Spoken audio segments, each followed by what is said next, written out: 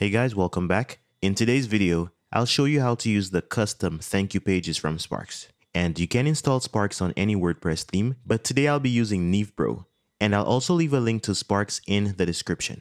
So let's begin from the WordPress dashboard. Let's hover over settings on the left hand side, and from there click on Sparks. Now we just want to make sure that we activate custom thank you pages. So once it's done, we can go ahead and locate thank you pages under the marketing tab. It's not there as yet, so we need to refresh the page first. Now we can see it. Let's click on it.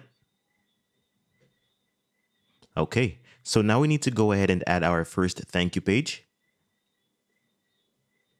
Let's give this a meaningful title. I'll keep it simple by calling it thank you. And now we can go ahead and design our thank you page.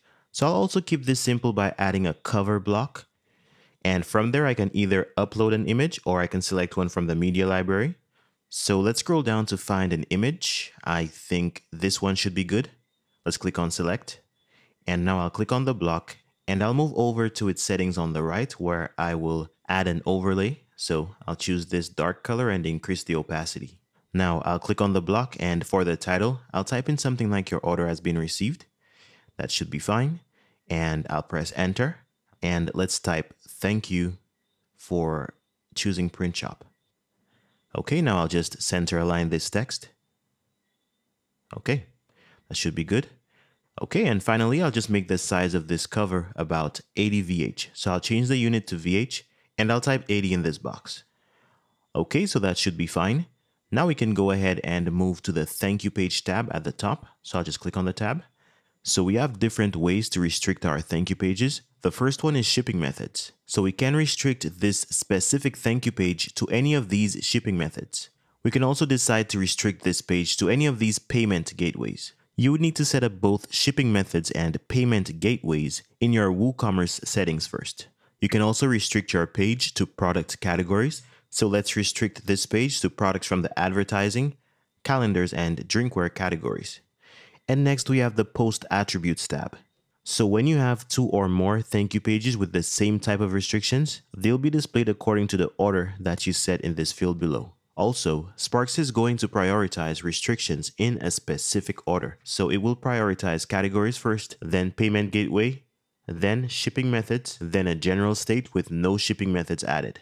Once you're done with your configurations, you can click on the publish button twice. So now we can go ahead and test out this thank you page. So I'll go back to the dashboard and I'll open this in a new tab.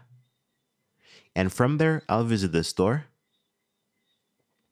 So now I'll select the calendar since the thank you page restriction applies to its category. Let's click on add to cart.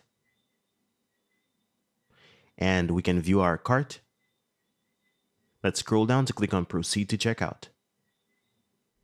So we're basically just simulating a purchase. So I'll click on place order. And now we can see our custom thank you page. So this one is really simple, but of course you can customize yours according to your needs.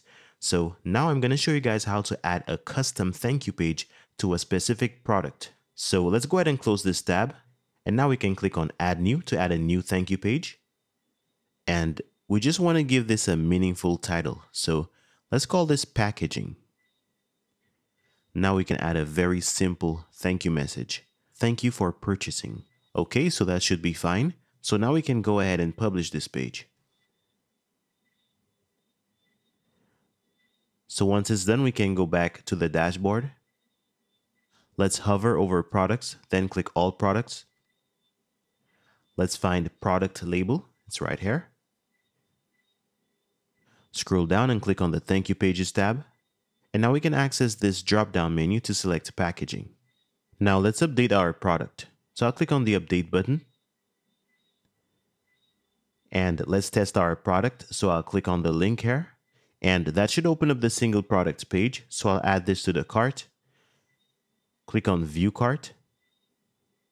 Okay, let's proceed to checkout. place order. And here is our simple thank you page. Alright, so now you know how to use the thank you pages module from Sparks. Thanks for watching and see you in the next video.